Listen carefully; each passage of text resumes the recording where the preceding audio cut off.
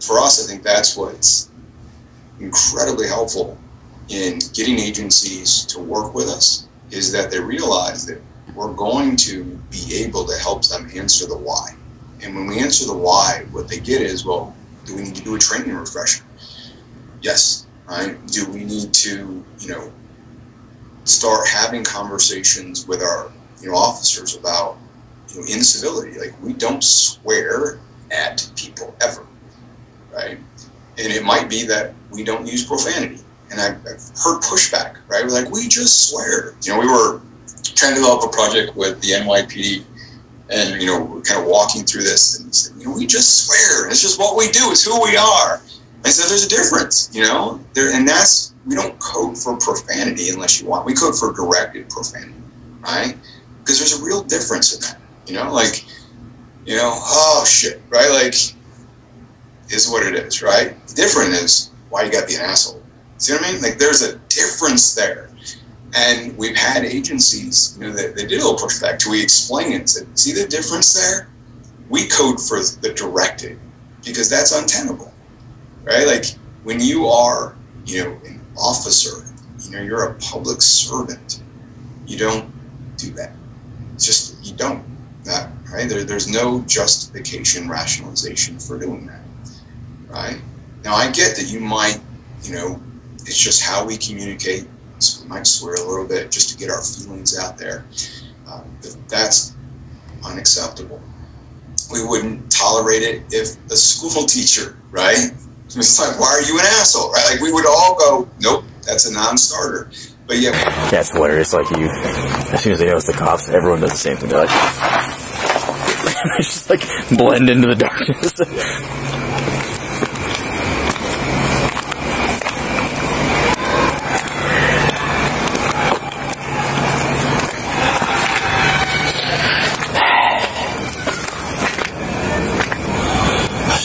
normal day. This is regular day. Spend a lot of time doing this and students are here. That's a girl. yeah. the girl answered the door at her mark I saw that. Yep.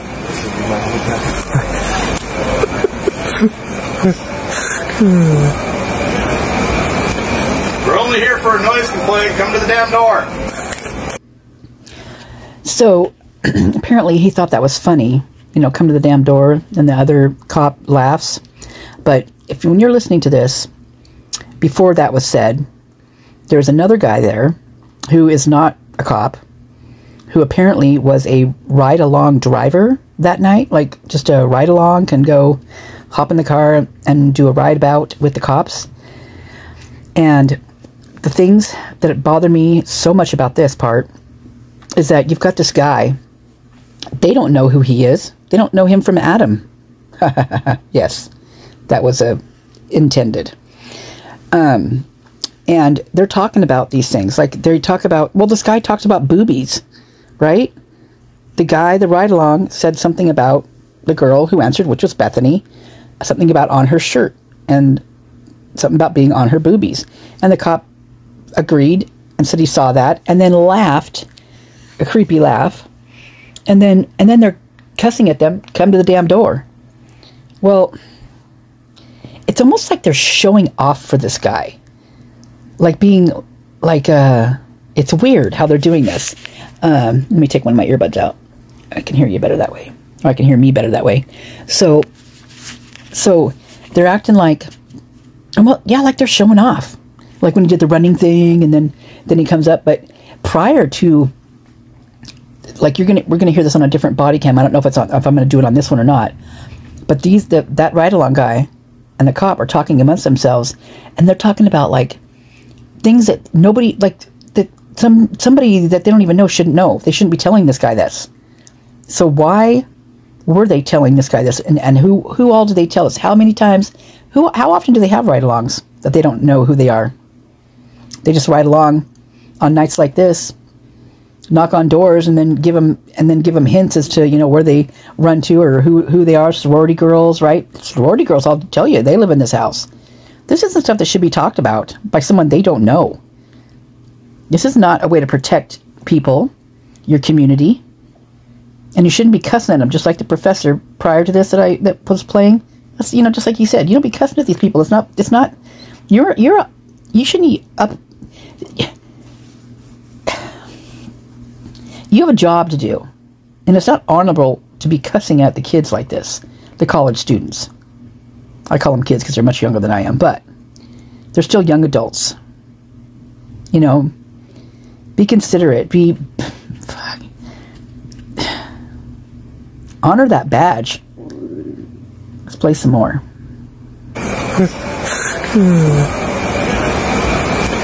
We're only here for a noise complaint. Come to the damn door.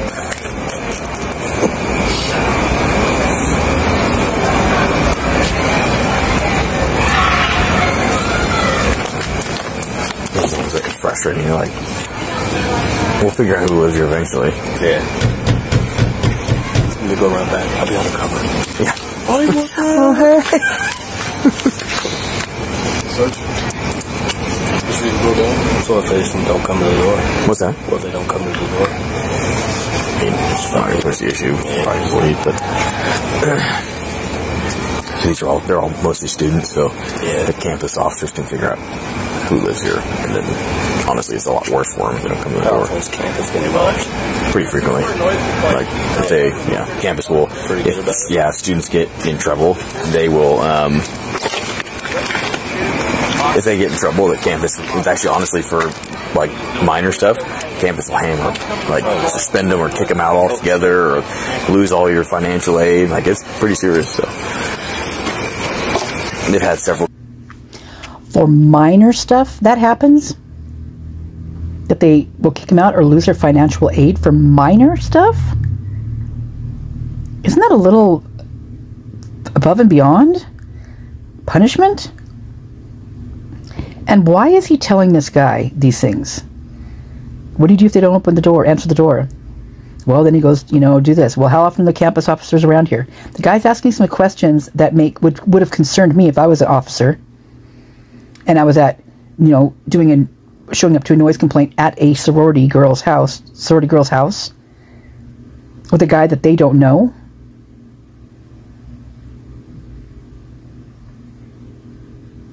I find this very disturbing. Pretty frequently. Like if they, yeah, campus will. If, yeah, students get in trouble, they will. um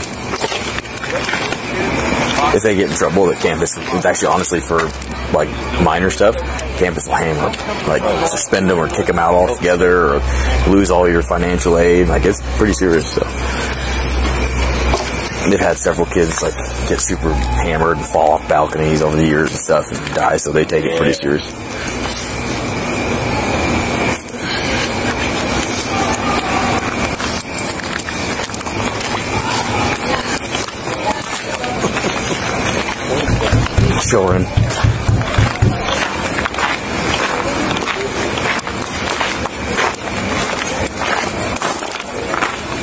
Come to the door, guys. Send whoever work, whoever lives here down to the door.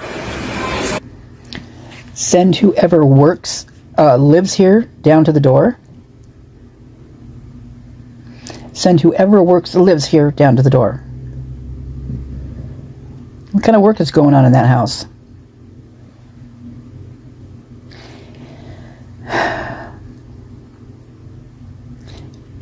How many cops does it take to show up to a noise complaint?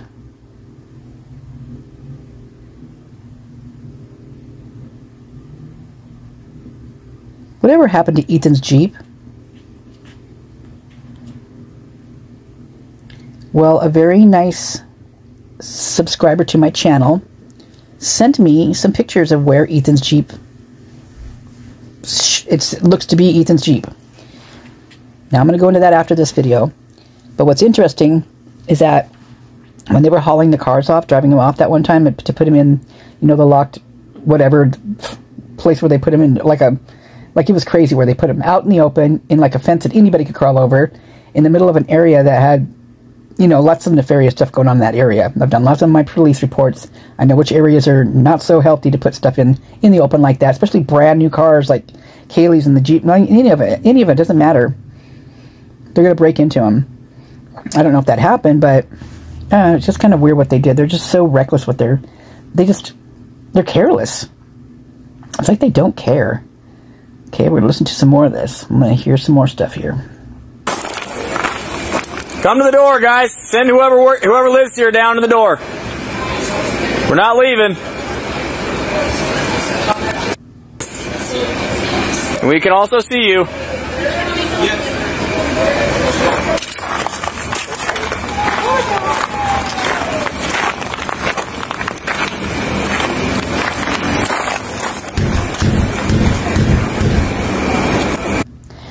Guys, I'm going to back this up just a little bit because I want you to see something. Now, I'm gonna, I'm going to actually pop it in slow motion real quick so you can see it better. So I'm going to turn the sound down. You're not going to hear the sound. You're just going to see what I want you to see. I'm going to make you see it. So what I'm pointing, what I'm um, get, trying to get you to see is how they communicate, how the students communicate, and how the police communicate communicated also that night on Banfield with purple lights.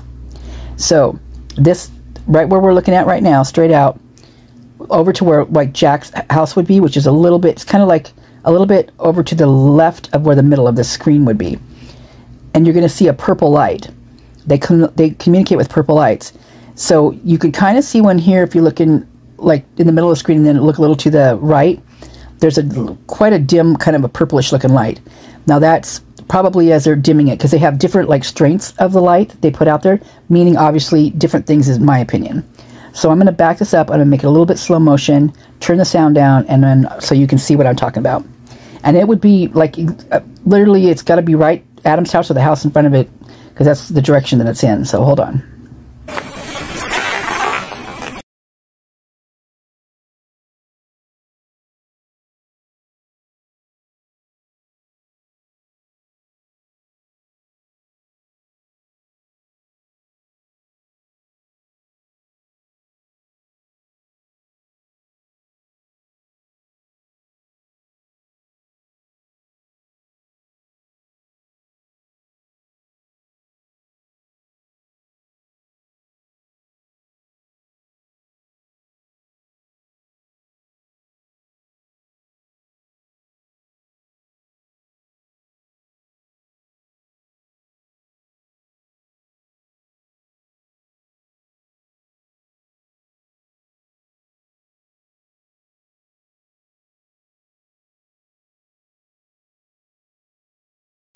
Okay, so did you guys see that? Now, as they're as they're going back, um, as they're just like right now, as they're moving back towards that, that light's gone. Like they just flashed the light, and I believe that's a warning sign. You know, they're warning other students that cops are in the area. They're doing noise complaint calls. Hide, go to another house, or whatever you're going to do. But just let you know, warning, cops are here. That's what I think that is from. So, just a little inside information in my own head, from my own head. Okay, here we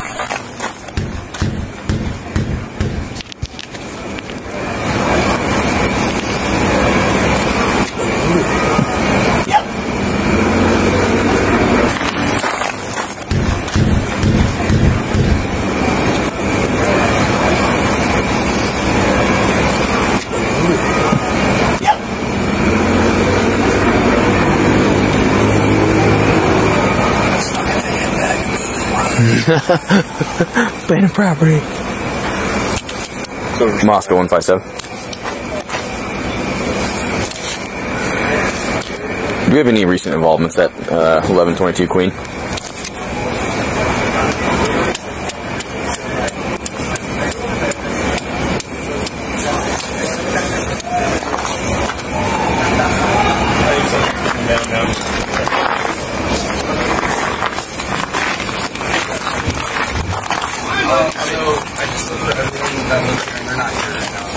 No one's here. That No one's here. No, No, one's here at all. no one's here. that So everyone here's trespassing.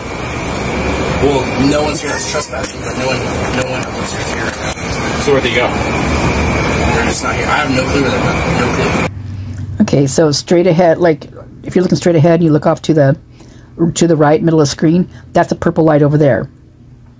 So these cops, first of all, these guys come down the steps, right? And he says, "No one is here that lives here, But he said he just looked through every room and no one was there that lived there. He just went through every room. How does he have access to every room when they said they have locks on all the doors and that they lock them?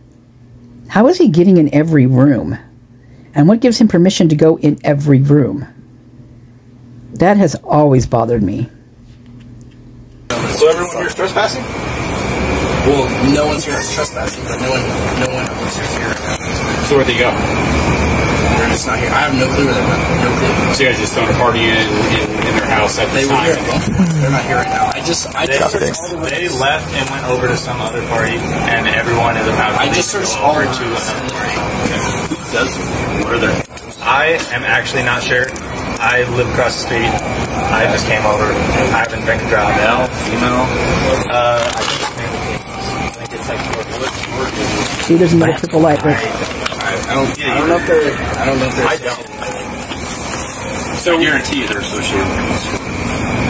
Many of them are living here as on campus, campus work.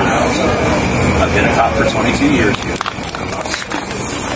Play young games with me. So, see the guy standing all the way to the right of your screen that you're looking at?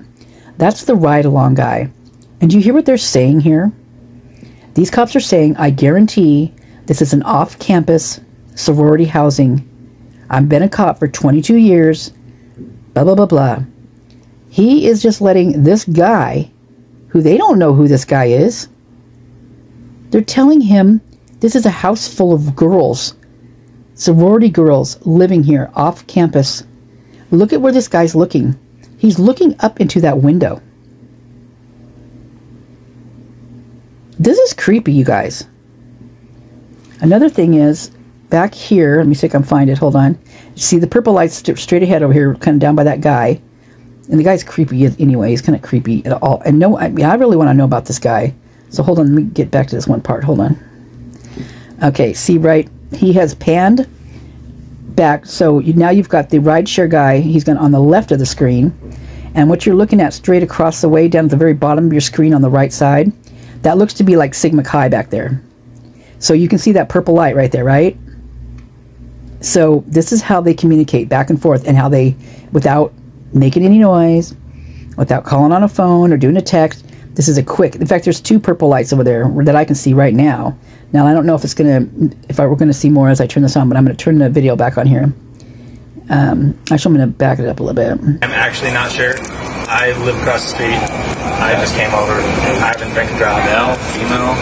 Uh, I think it's mainly I think it's like four That's going I, I don't, I don't know if they're, I don't know if they're. I don't. So I guarantee you they're associated with this. Many of them are living here as on campus, campus work. I've been a cop for 22 years here. Play young games with me. I'd rather deal with this as a noise complaint. Council, report, all of that. Although I know, I know. Yeah. Almost all college students. people up on the hill probably didn't know most of them. Yeah. And this is kind of like it's kind of a fishbowl in here, so if they get party, it echoes like crazy. I'd be under the assumption that you guys are unlawfully entered because no one who lives here is here. Okay. Right? We'll we'll go we'll So go get need the to phone number. that there was a party here. We'll go we'll go get a phone number. We'll be right back. Sorry, we're not trying to make your life. I understand. I just letting you know this is how it's going to play out. I'm not going anywhere until I talk to We're not trying to be hard. Just no You one guys want to just leave the door open for us? That way we can get some sort of communication between us No, and them. no one Make them knows in- you're here right now. Yeah. Okay, thank you. Yes, thank you. I do. And, and hey guys, really, we're just coming here for. No, I get it. The reason I apologize for no one coming to the door. You want to bet that someone from this house comes down here all of a sudden? I'm sure they're fucking. I think Right, I just- I mean, I- Oh, guaranteed, yeah. And they knew we were in the front. They won't. There were some coming up behind us, and they I don't know where they went, but they looked like they were probably headed this direction. Yeah. So go ahead and, and Yes, please just go call someone. Thank you. We'll be right back. All right.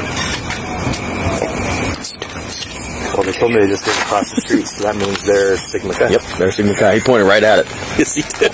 That was my Not Don't intelligent, tell young man. Fucking off-campus sorority. Yeah, house. yeah, hundred percent, hundred percent. Fucking idiots. If I have to, I'll just start running plates and attack Yeah, all of I was seriously thinking the same thing.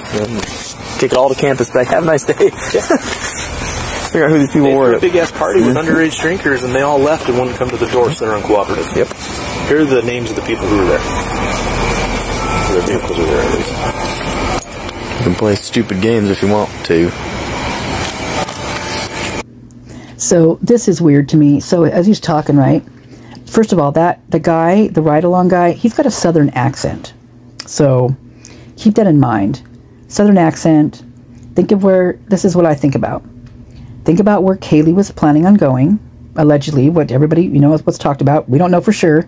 This is all hearsay.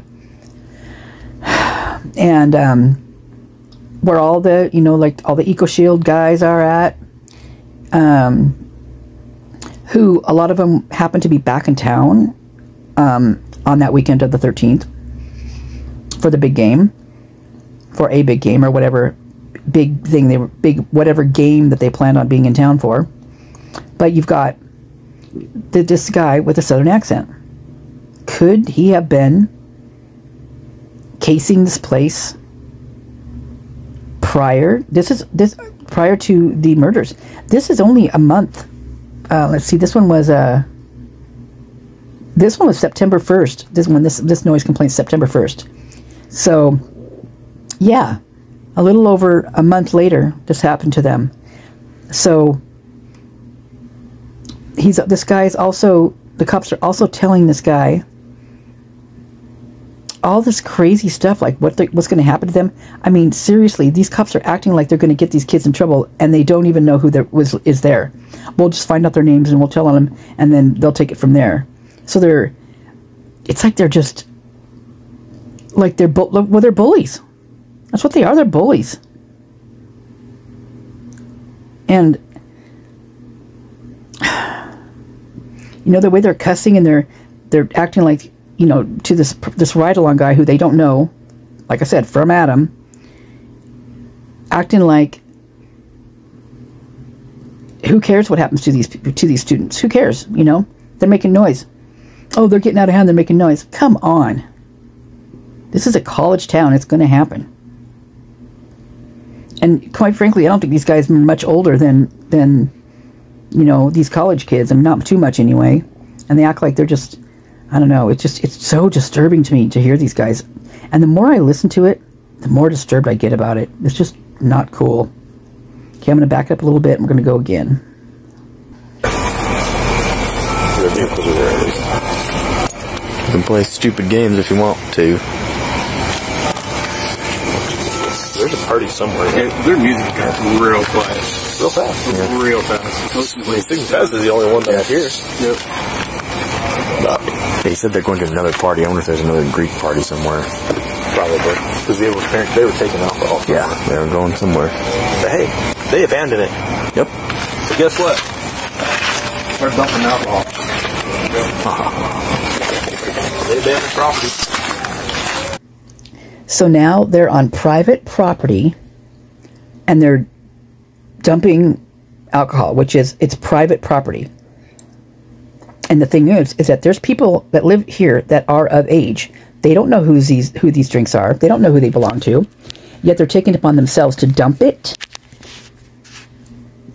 And like right before this, you guys, did you see all those purple lights? Like they're they're in every window all the way around that campus. Like they're really all alerting, alerting everyone that the cops are at 1122 Queen Road, as they call it. Interesting, right?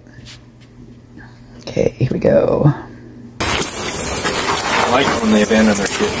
Yep. Some more in there. Don't want to get your hands on underage youth. Exactly. Street youth. The White Claws? White Claws. Nice. They're going to be so angry. I hate when I leave my White Claws. Oh, they're cold too. Man. Yeah, these are cold. Whew. Oh my god. An open one. Hello. Did you do that? Learned that from a college kid. Yep. Alright, Josh. Did Jordan talk to them? Yep. Okay. Hi, this is Dr. Walking on Police Department. You want to speak with? Mind. Maddie, one second. We turn early on, on this. Uh, I could swear that he just said Jordan. I'm going to back this up and listen to this carefully because. Hold on, this is weird. You do that. Learned that from a college kid. Yep. All right, now. Did Jordan talk to them? Yep. So he did say Jordan. Um, look at that white car right there. I swear that white car looks a lot like the car, you know, that was back and forth from there. I wonder if uh, Liz was there. Um, Jordan. Hmm. So I'm going to look on the police force and see if there's any Jordans that worked there at the time, or if he's like on a call and he is talking about whoever maybe reported the call, called in on this, or whatever. Because if that's the case, you know who else, who else called in a 911 call? Whose name was Jordan? Well, the one that called in the one on Kopacka, that's who. Yep. Look at that guy. Standing over there just watching the cops. This, this is a ride along guy. This is creepy. Everything's creepy about this, just to tell you the truth. Hi, this is Officer Walter Moss. Someone speaking? Maddie, one second. We turn the volume on, on this uh, on this phone. You hear me, Maddie? You live at one Queen Road. Okay. So hey, the reason that we're here is that we received a complaint, um, live music, party. Not a fan of white Never had one, never will. No one should be a fan of White Claws or Truly, man. coming for alcohol, and then we sat here for approximately and the door and wanted to come. Good on you. I wish I didn't. actually, I did when I was in college. So, right now, um, if I can, I would like to collect. I remember what it's like information being a college from kid. Brigade Bird, uh, and I'm guessing, or, and I want your current address at, uh, also as well. Okay. Yeah, I It's okay. I, so, I don't assume that's the What's your first name? how do you spell it, Maddie?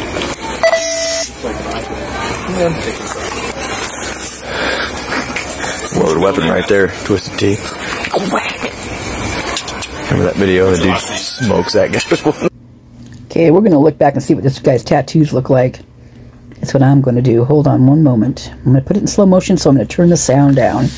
So they're talking about a twisted tea that's inside this car, which is a like the um, like to do the Jack Daniels twisted tea. So it's kind of a play on uh, like Long Island iced teas. So that's what they're talking about. That's in this car, which they are pretty gnarly. They're pretty strong. But but what do they look? I mean, this guy's looking in people's cars. You guys, he's not even the cop. He's a ride along. And guess and look at where he's standing too. Like when they're all out there dumping the alcohol, he's standing right in between these cars, which is a direct line looking inside the house. Where the guys just came out of the frat guys, you know, Hunter and Conrad. That's who that is. That's Hunter Johnson, the taller one, and Conrad is the shorter one. Conrad is now on the Sigma Chi uh, Council, by the way, one of the members, you know, the the big wigs. So, just so you know that he's he's part of that now. He he was uh, as of this, uh, or maybe it was 2023. He was part of it. Maybe it's 2023. I'll have to double check on that. But anyway, it's either then or this year. Either way, he's still you know one of the big wigs on there. So so hold me back this up a little bit.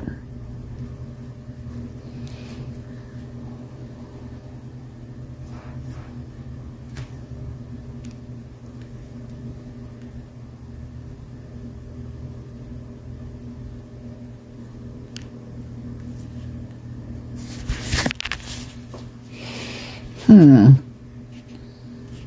Well, he's got quite a lot of tats up and down those arms. I know tats are very, you know, everybody's got them these days. I don't, but you know, it's not just for your your gangsters and your bikers anymore. It's for everybody.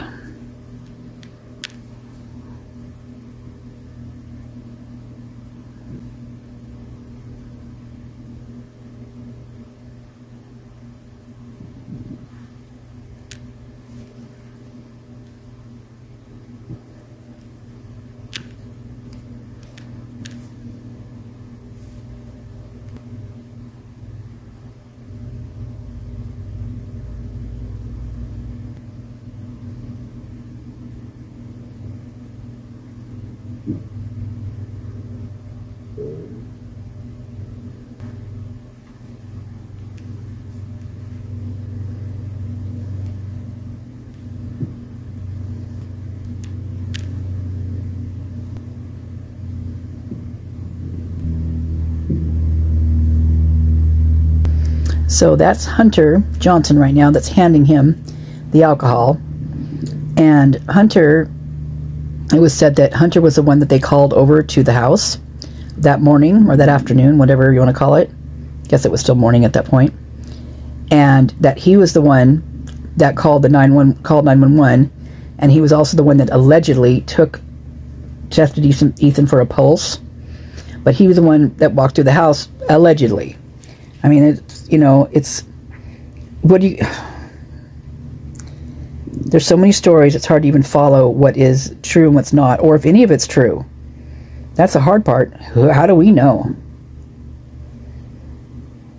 But hunter was there and you he even asked the cops asked him if he's going to school there right? And he said that he graduated.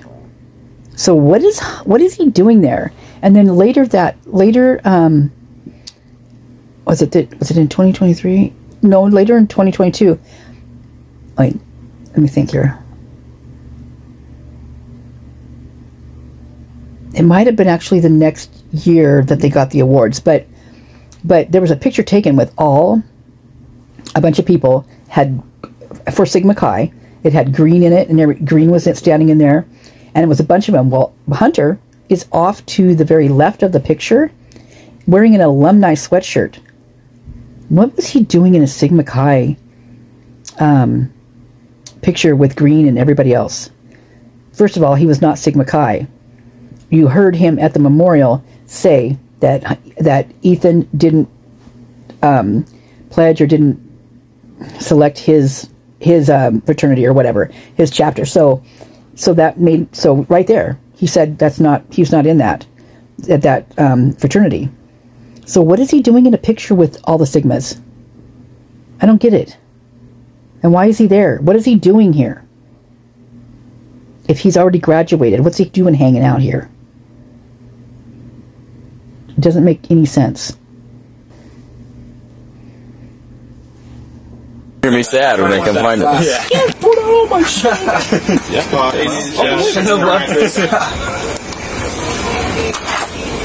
Ugh, so I tell you, you guys are Sigma guys? Uh, I'm a Sigma Chi. I'm a, Are you I was in a house, uh, but I'm not. You what? What? You graduated. graduated. There. I will graduated with a bachelor's. I'm still getting my master's right now. So. But you get masters All right. Madison. I'd like so to- here's the deal. Okay. I actually got a kid They've already that said that started no in one that here program. lives at, uh, Really? like, What's his no, name? the, the occupants that live the at first this year. address are here right now. He's only His last he's a Brandon Oh, he's a freshman. Um, Oh. we need to You let them won't know know that the noise needs Did he to, go through needs to come down. No. Okay, we just received a No, don't take this the wrong way. I told I know him if he you're joined a say. fraternity, I was going to disown him. Yeah, I know what you're saying. I, I don't blame you. I see both sides of it. I did it because I know his personality, and after a while, he Hey, would just I, be I pissed off understand. with everybody. Okay, uh, it's just So I'm I mean, if, if I were you guys, I'd probably just come home. I was in a different and make sure that whoever is Like is party here is keeping it down. To, no. All right, where's the point? okay, so at this point, um, Okay, so I have to cut this one. uh, You know, it's already at 34 minutes, and I'm sorry I'm having to do this, but my videos are not loading up like they should be, and